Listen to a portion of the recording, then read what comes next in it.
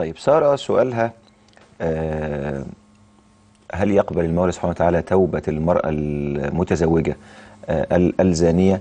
آه، هي كمان آه، بتقول إنها بتتوب وبترجع تقع في الزنا تاني مع شخص غير مسلم يعني فهو الزنا زنا يعني مع مع مسلم أو غير مسلم بس فضلتك توضح لها آه، طبعاً إزاي تقدر يعني- يعني, يعني آه، طبعا الزنا كبيرة من الكبائر وربنا سبحانه وتعالى سماها فاحشة. ولا تقربوا الفواحش ما ظهر منها وما بطن.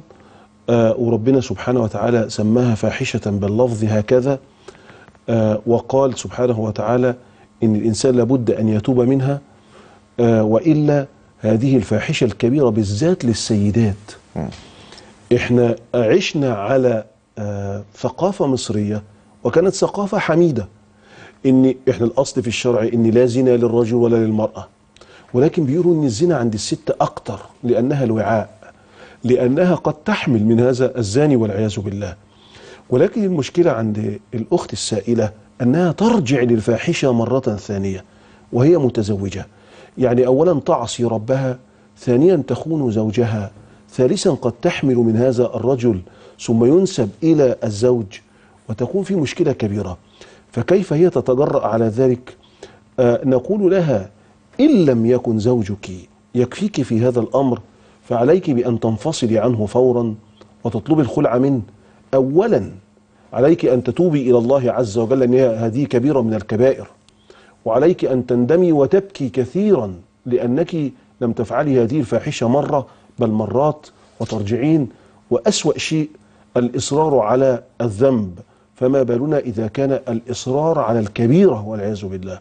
فعليك أن تتوبي وأنت مع زوجك ولا تفعلي هذا الفعل مرة ثانية وإلا إذا لم تجدي من نفسك عزيمة تبكي على نفسك أكتر ونترك هذا الرجل الغلبان وتروحي تنفصلي عنه علشان نعم. خاطر ما تفعليش هذه قبول التوبة الفعل. وارد حتى دون إقامة الحد يا مولانا آه وقبول التوبة وارد طبعاً. بس المهم نتوب مش المهم. نتوب وبعدين نرجع تاني في هذا الفعل أنا بتكلم بهذا الأسى لأن دي كبيرة من الكبائر ولأن في زوج ويبقى في اختلاط أنساب يعني يترتب عليها مساوئ وآثار سيئة.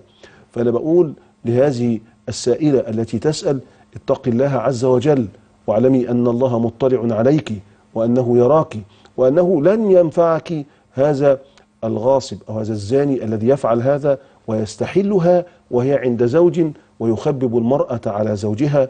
وسيدنا النبي صلى الله عليه وسلم قال ملعون من خبب امرأة على زوجها يعني يبين لها إن هو أحلى إن هو أجمل إن هو أقوى وزوجها يكون عنده بعض الضعف أو مشغول أو شيء من هذا وهو بعد كده يستحلها هذا ملعون من الله ومن سيدنا رسول الله صلى الله عليه وسلم ولكن على على كل الأحوال مهما كثرت الذنوب فباب التوبة